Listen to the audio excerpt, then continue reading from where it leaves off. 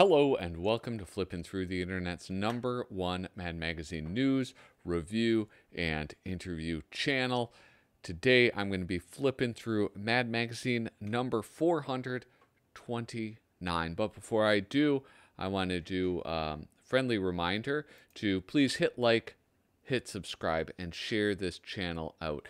Uh, I can't grow without your help, and I sure do appreciate it when you do do that. Also, leave a comment below if you have any suggestions on future videos or uh, any request issues. And on the topic of putting in a request for an issue, uh, this issue was requested uh, by Senor Fejown, um, a common commenter on my channel. Um, and how could I say no to him? If you want to check out his channel, he's right over here. Wait a second. He's got more subscribers than I do. Anyway, check out his channel. That just ruined my day, Fejown. Anyway, uh, the, this is Mad Number 429, released May 2003 at a cost of $3.50, which is indeed cheap. I don't even know what to say about this cover. Uh, I mean, I kind of do like it. It is like it has its appeal. Um, but I mean, it it's strange, right? It does. Uh, uh, I mean, aside from the obvious things like the Mad logo, it doesn't exactly fit into like the style of a Mad cover, but I think I kind of like it for that reason. I like having Alfred's face blown up so large. Um, so yeah, I kind of like it, even though it's sort of a sort of a strange looking one. Anyway, so this is uh, from 2003. This is post color, post advertisements. Um, I feel like I don't. I can't remember exactly if it came, if th- those two things happened at the same time. I think first they transitioned to color, and then they started taking ads. Um, and you know, I don't know that anybody was all that pleased about it. I am curious if there was the same amount of um, tumult in the letters department the first time there were ads in it. Uh, I saw in my last video there was a lot of uh, lot of letters in the tomato and letters department, all about the UPC code. So here we have uh, a Chow Yun Fat, Chow Yun Fat, and Seann William Scott vehicle, bulletproof, bulletproof monk, to be exact. Uh, I don't know, but that's like very timely, right? Those two were huge during that time. Uh, was Chow Yun Fat and Romeo and Juliet, or what was it? No, not Romeo and Juliet. It was something else. It was like Romeo Must Die. I forget what it was called. Anyway, he was in a lot of movies. Um, again, they don't have the vital features. I guess in a way, this is the vital features, right? So we have Kuper, we have, oh, I forget the name of this guy um, because I don't do these modern ones all that often. But this is the guy who did Melvin and Jenkins. Um, here is, uh, what, what is his name? Caldwell, John Caldwell. And this, I should know, but I don't. So I'm turning the page. Uh, like, got milk, got milk commercials are the worst. Oh man, I can't stand that. It's so bizarre. Oh. So here we go. Uh, let's zoom in. Let's do a letter thing. I think I've talked about this before. Um, you know, it's just uh, not. It's just not all that funny in the later days. Um, but I'll tell you what, that is fun. The Make a Dumb Wish Foundation. Uh, if th- this is the my go-to uh, every single time, I have a wish for the Make a Dumb Wish Foundation. I would like to turn my own room into a mad subscription office. I would love it if you guys could send me all the necessary things needed to do my job. I require no pay, and I don't require a computer. Brian Gleaserson, Alberta, Canada. Bry, we have good news for you and bad news for you. The bad news is that we do not think your letter qualifies for the Make a Dumb Wish Foundation. for it is our belief that every mad reader should turn their bedroom into a satellite mad subscription office. So here's the good news. Even though your wish doesn't qualify for the dumb wish, we are providing you with 1,000 postpaid MAD subscription cards. To get them, simply go to a magazine shop in your area and buy up all the MADs. There will be two cards in every issue you purchase. Take these cards and hand them out to all of your friends and pester them incessantly until they subscribe to MAD. Then continue to pester them until they open up a MAD subscription office in their bedroom. Tell them that they can get the cards the same way you did. Welcome to the MAD organization. We're happy to have you on board. See you at the company picnic. Ed.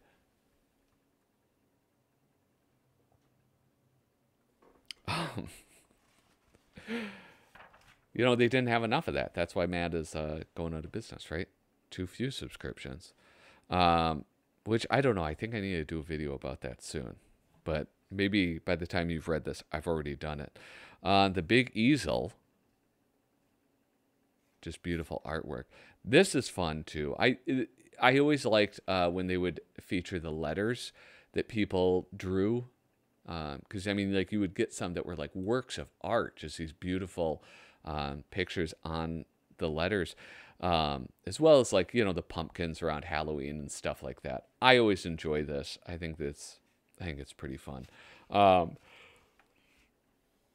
oh my gosh, the the ads are incessant every single page, um, and we're still doing letters. It's still the letters department what is going on? Uh, there's a nice picture of everybody at work. Oh, look at the SpongeBob crap book. Um, what? So-so cartoons inexplicably hot. SpongeBob SquarePants, well crafted, subversive, and funny. It's not SpongeBob SquarePants. So why is Mad stooping to showcase the swill? It's simple. We've got seven pages to fill. Artist Gary Hallgren, writer Jeff Kruse. Is this is this a picture of like Al Jaffee or somebody? like just photoshopped with a tooth missing? SpongeBob SquarePants pre-stardom acting gigs. In Rocky Five. Oh.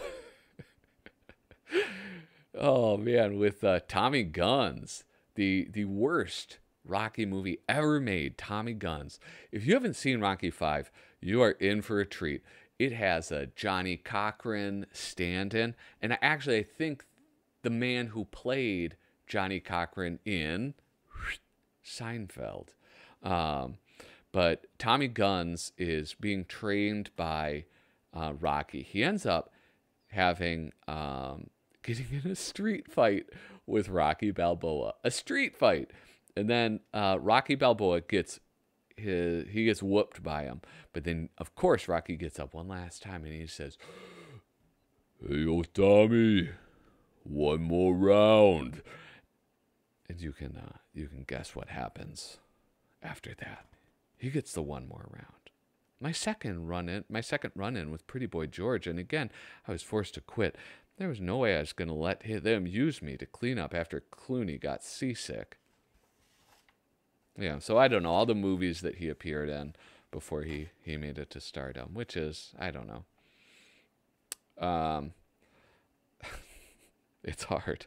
It's hard to get seven pages of SpongeBob material. Oh, I guess I didn't realize this is, um, this is all different. All right, so it's all new SpongeBob SquarePants characters for the upcoming season. We got SpongeBob Hot Pants, Morty Mandible, Barnacle Bunch. Parasite Pete. I love that. it's coming right out of his butthole. Um, then the pre-stardom acting is M. Night Shyamalan's proposal for the SpongeBob movie. Um, you know, uh, Drew Friedman, the highly talented Drew Friedman. I should have been able to identify that. Writer Arie Kaplan and Scott Sunborn. SpongeBob's everywhere. SpongeBob Barker, SpongeBobby Knight, SpongeBob Costas. Okay, so you get the joke, right? Oh, MotoGP3. Um, man deconstructs TV talk shows. Um, this is uh, yeah. Here we go. Mejia Hermann Mejia. Um, I love this dude's style so much. I should see. I gotta track this guy down because I would love to talk to him. Uh, writer Desmond Devlin. So we have uh, the TV talk shows. This month is Jerry Springer at 11. The audience lustily chants, Jerry, Jerry, Jerry. The constant repetition helps to remind them where they are. but you get these like really cool faces. Like he does this, it's almost like individual fisheye lenses. They're just distorted in such a cool way. Um, I love it. I absolutely love it. Um, the red brick wall, the bad improv, the tired premise, the hooting audience, all that's missing are the dry 8.95 chicken wings, and you've got yourself another hellhole comedy club. Um, the show gets to the nitty gritty, the big revelation. If the guest doesn't have a big revelation of their own, they are provided with one from the producer's checklist. I'm a sex change operation addict. I'm doing the nasty with your brother. I'm hooking at the old age home. I stole these breast implants from my stepmom. I'm the hottest dominatrix in the fifth grade. oh my gosh, Desmond, you are uh, you are a master. Right about now at 11:31, right about now, non-medicated viewers notice that the Nazi skinhead on today's Springer show was the deadbeat dad on last Thursday's Maury and the amateur male stripper on Ricki Lake. Oh, I love that. Hermann Mejia is, uh, yeah, just a fantastic guy. He does this cool thing. Um, I you can see it. It's like revealed here. So he uses like watercolors or something, but he he breaks apart like uh, you get these like just very neat shaded shapes uh, that I don't know. It's like it's real it's so realistic but it's all you know what it's kind of like it almost reminds me of how some artists will draw uh bizarro superman it's almost maybe that's why i like it is it is sort of like a bizarro caricature. Yeah this dude's awesome. And look he does these neat techniques in the background for watercolors right? Like uh kind of oversaturating it there. Oh uh, wrong direction. Oh, Transformers Season 2, Part 2.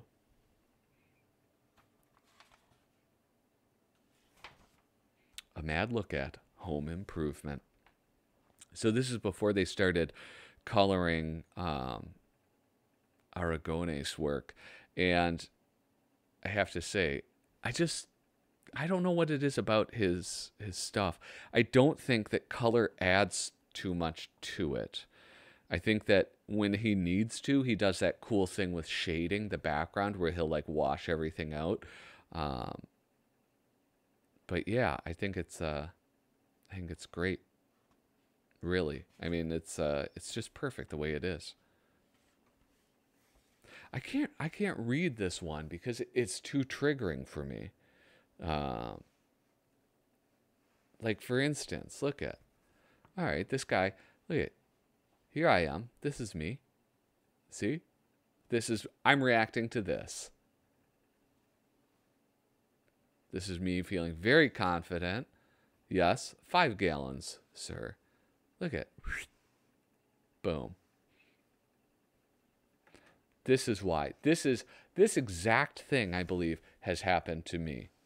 Let's look at, um, let's look at this six panel one. Got the squeaky floor, but there's mice. No, it's a floorboard, you dolt. That's what he says. He's like, I'm gonna go fix it. I love it. I love how he just he comes up with that just sort of like blank expression and then returns with mouse traps. It's just beautiful. He's just hoping. That's what I imagine when I see that. He's like, I hope she doesn't notice hope she doesn't notice that I'm coming back up. In the last few years, it seems like everything around us has become sponsored by corporations. There's nothing as exciting as going to the Staples Center box office to pick up tickets for the Jeep Music Festival, unless you're taking in a ball game at ball game at Tropicana Field. Pretty soon we won't be able to go anywhere that doesn't have a corporate handle for that faithful day, fateful day. Here's Mad's handy guide to let you know when corporate naming gets out of control. The Grand Canyon becomes Gap National Recreation Area. Little gap right there everywhere. When the Washington Monument becomes Viagra Tower. It's a little too on the nose. Sorry. Uh, writer Jacob Lambert. Um, so they don't. Uh, yeah, I guess uh, I don't know. Maybe the art department put this.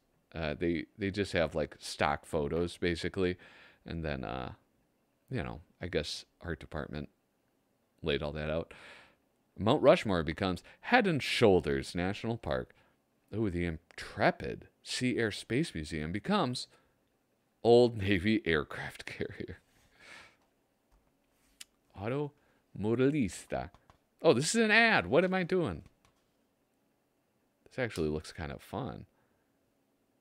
That's PlayStation 2. Yeah, look at it. I kind of like that. I like the style of how that looks.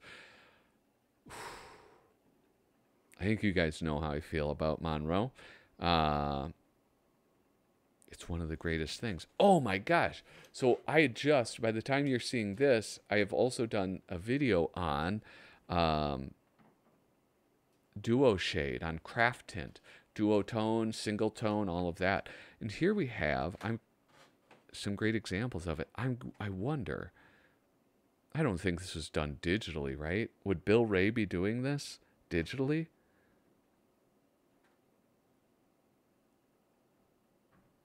I mean, it does, like, you don't really see brushy marks.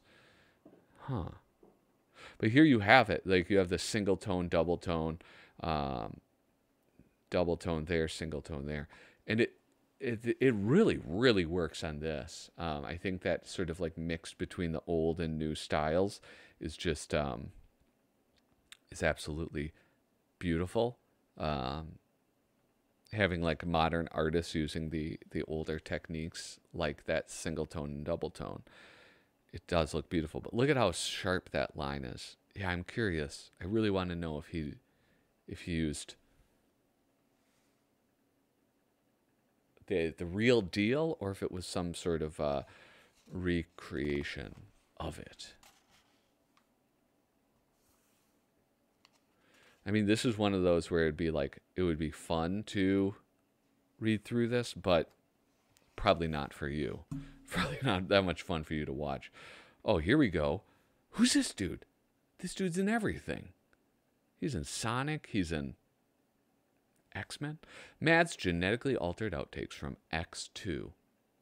But wait, there's more. Order Uncanny X Men Pasta Pot, and you'll receive this set of lifetime guaranteed kitchen knives.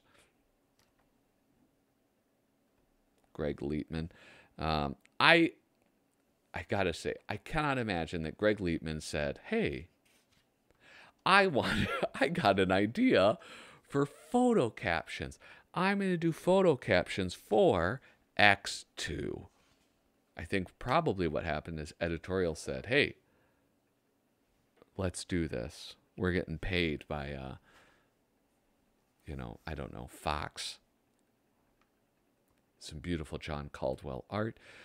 Dating is hard. It is. And nothing is harder than that first date. The self consciousness, the clumsy gestures, the awkward silence. And it only gets worse after you arrive at her house. Sure, that first night out is a rough start, but the longest journey begins with the first step. And hopefully, you'll be able to avoid stepping in something foul if you read Mad's field tested tips for your first date. These will be fun.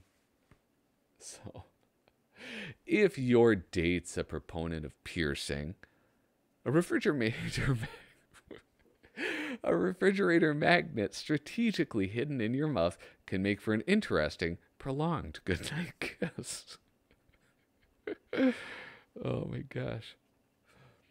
As far as men, men's room graffiti is concerned, it's a good idea to wait until your date is actually over before committing your words to plaster. Amy Vazolis orders chicken tetrazzini. Max Korn.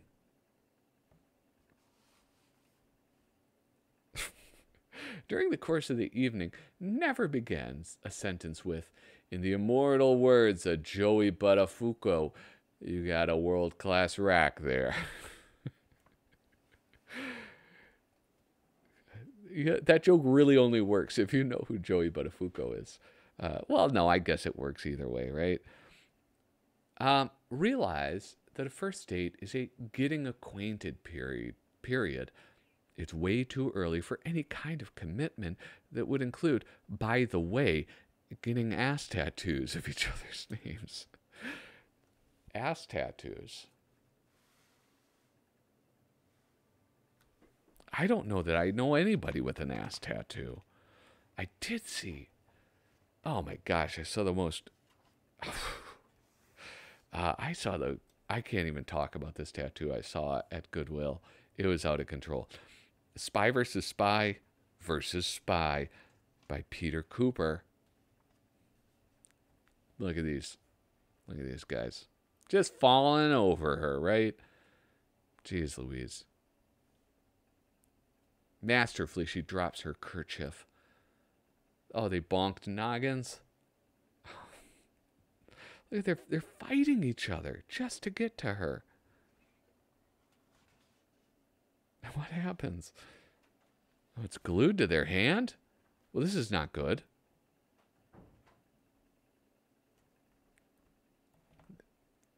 I mean, I do. I like this in the sense that, you know, they weren't like uh, shredded by a propeller or something, right?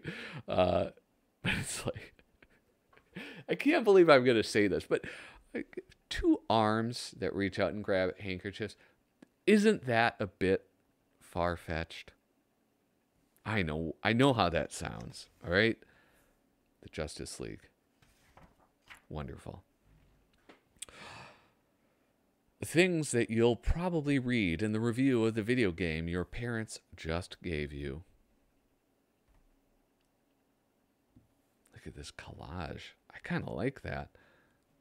Who did this? Artist Tom Nick Cocotos. John John Caldwell, the writer. For her latest mission, Lara Croft dons a traditional burqa and by level 3, the yodeling may prove too intense for younger gamers. After 20 minutes of play, you'll believe you really are one of the three tenors. oh my gosh, what was that? There's like a video game donkey video where it's like him just having clips of people saying like you'll you really feel like you're Spider-Man the only Jared from Subway game on the market, rated one of the top 10 Gilmore Girls themed games by Teen People magazine. Not compatible with PS2, Xbox, GameCube, N64, Game Boy Advance, Sega Dreamcast. Who is this guy? Kevin Pope. That's who. That's who it is. Kevin Pope Hope has a wonderful style. Um, Mad's 2003 spring break course selections. Um, I got to go right here. Principles of journalism. Many of the five W's are studied when co-eds wake up in an unfamiliar room, look at the naked frat boy passed out across their legs, and ask, Who? What? Where? When, and why. it's this. This is what I love.